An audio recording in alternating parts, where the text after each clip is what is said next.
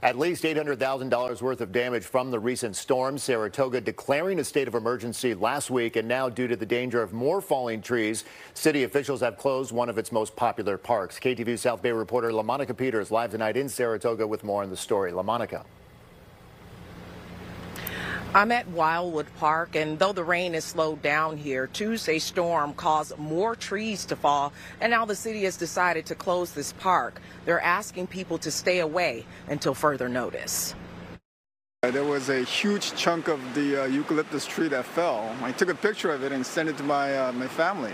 They were like all surprised because it was such a huge thing. In a city known for its beautiful trees, Saratoga has been hit hard by downed trees during the recent storms. This is what it looked like two weeks ago when a huge eucalyptus tree came crashing down on Allendale Avenue and Harley Drive. Now Wildwood Park is closed after this large tree fell Tuesday. We love the, uh, the park. We come here very often. So because the weather, because of tree falling down, we feel very unsafe to come back. So yeah, I think we need another good management about the trees. The city says declaring a state of emergency makes it easier to request resources, financial assistance, and to get reimbursement through FEMA.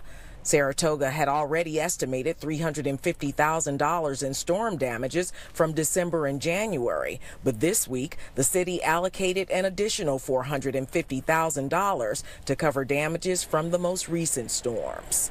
Well, I think for all those trees, maybe we need to cut down some of them. I know it's a big loss, but since it's uh, threatening the people's life, I think we should reconsider about it. Just last week, fallen trees killed five people across the Bay Area during a series of atmospheric river storms. It's kind of sad to see um, all this rain and uh, people uh, dying. Um, that's very unfortunate. I feel really sorry for the families. A city spokesperson says it's too early to tell how much it'll cost to repair the damages here at Wildwood Park, but they estimate that the damages for the entire city could be close to $1 million. Mike? A winter season that just does not want to come to an end. All right, LaMonica, thank you for that. USA